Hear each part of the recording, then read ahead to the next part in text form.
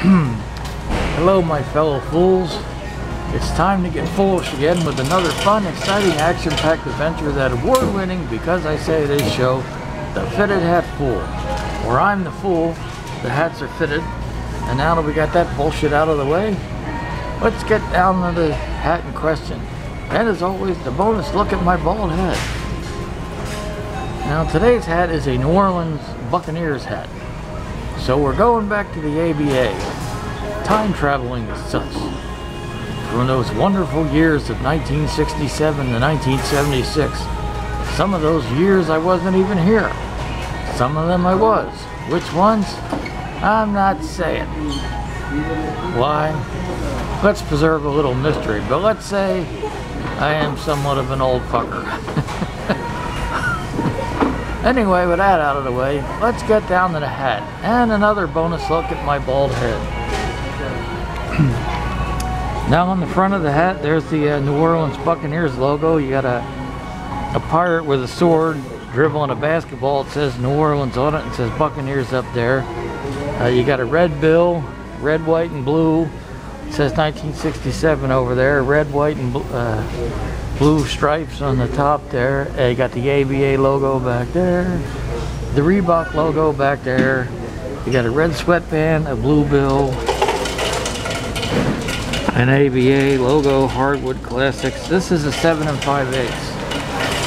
Why is this hat a 7 and 5 eighths? Because that's my goddamn hat size. um, and I like ABA hats. Um, found this one for 15 bucks and free shipping. I'm like, well, pretty damn good price, I guess. If you ask me, I guess if you ask someone else, they might not think it's too good of a price. But for me, it's not that bad. And when you consider what hats are going for these days, this isn't that bad. Now, having gotten all that nonsense out of the way, I happen to like retro hats. The ABA is retro. Um, and, you know, I like the ABA is enjoyable. I even like that movie Semi-Pro about the ABA. It's one of the few uh, movies of Will Ferrell that I actually like. Uh, most of them are crap, but that one's pretty good. And um, that's a funny movie. Who doesn't love the Flint Tropics? And, you know, I'm sure there's lots of palm trees running all over Flint, Michigan. I'm sure if I ever go to Flint, Michigan, and I don't know if I will, I'll keep an eye out for them, but probably not any there. I've been to Detroit. That's not Flint. But they're both in Michigan. What's that uh, have to do with the New Orleans Buccaneers? Not a goddamn thing. Now, um, yeah, as far as the ABA, I'm sort of an ABA fan because I was a Nets fan when they were in New Jersey, and uh, they were in the M. Uh, you know, they have ABA roots with them being the New Jersey Americans and then the New York Nets. I used to have a New Jersey Americans hat. I don't know where the hell it went. You know, sometimes you move, uh, shit just gets lost, I guess. And uh, that's one of them. I'm hoping one day to find one of them again, but uh, right now I haven't seen one. But if I'm out somewhere or I see one online, oh, I will buy one. Um, as far as ABA hats, I have uh, this one. I have a Baltimore Claws hat, which is sort of a, a uh, self-made hat. I bought a patch and a blank hat, and my beautiful wife sewed the patch onto the hat. And um, oh, I have a sort of have a Pittsburgh Condors hat. I bought a Pittsburgh Pirates hat and a Pittsburgh Condors patch, and my wife did the sewing of a patch on the side. So that's kind of a half an ABA hat. So. Um, I think that's uh, all the ABA hats I have that I can think of. The Condors, the Buccaneers, and the uh, Baltimore Claws. Now I could be wrong on that because I got a lot of hats I might be getting. Might be getting, forgetting a few. But as far as I know, that's all the ABA hats I got.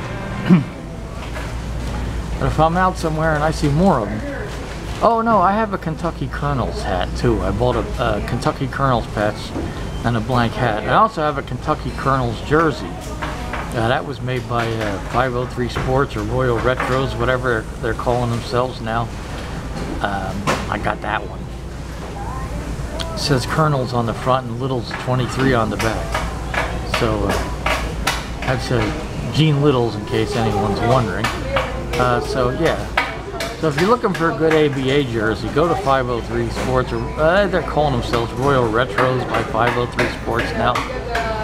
Uh, and no, I'm not being paid by them to say this. I just uh, like the jersey. I mean, if they want to, you know, pay me to do some ads for them, uh, you know, hey, I'm a whore. I'll do it. Toss some money my way. Free jerseys, free hats, whatever.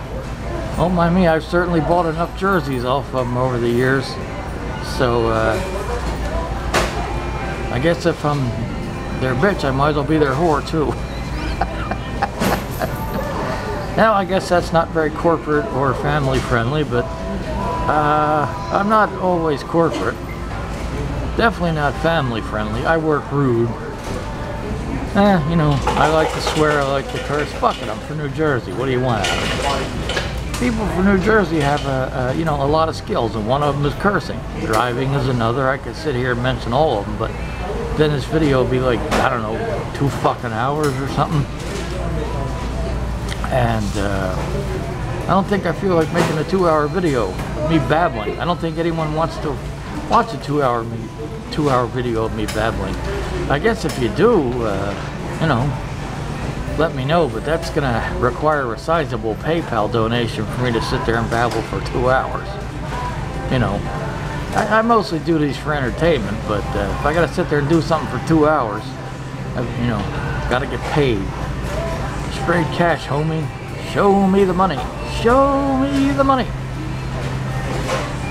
And uh, also, this also has nothing to do with the New Orleans Buccaneers, but, uh, you know, I just kind of go off on my tangents and, uh, you know, I go where the mental wind blows me or takes me. I, I get, I get, you know, the wind blows for free. What do you charge? That's an old joke. But uh, as I said, you know, I just go where the wind takes me.